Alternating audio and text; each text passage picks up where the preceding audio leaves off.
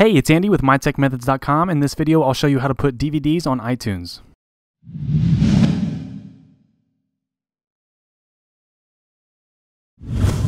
So instead of spending a bunch of money on the iTunes store, you can actually copy any movie from any DVD and put it into iTunes so you can sync it to your iPhone, iPod, or iPad, or just keep it in iTunes and watch it on your computer. And I'm going to show you how to do that today.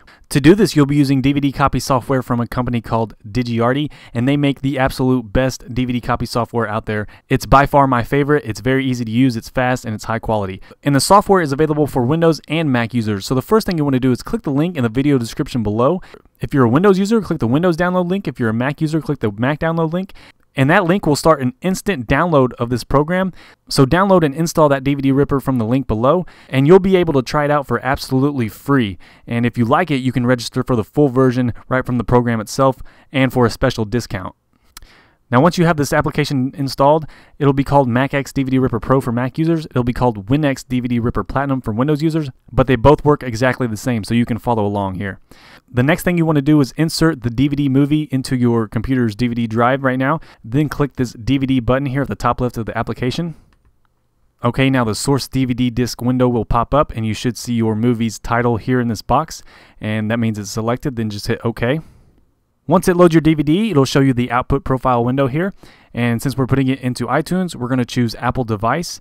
Here you can select iTunes Video and then choose the recommended option for iTunes. But if you're planning on putting the movie on a device after you put it in iTunes, you can choose whatever device you have. If you have iPhone, iPad, or iPod, you can choose that option. So for now, we're just going to choose iPhone Video. And then I'll choose the recommended option for my device. So I have an iPhone 4S, so I'll choose iPhone 4S recommended, then click Done.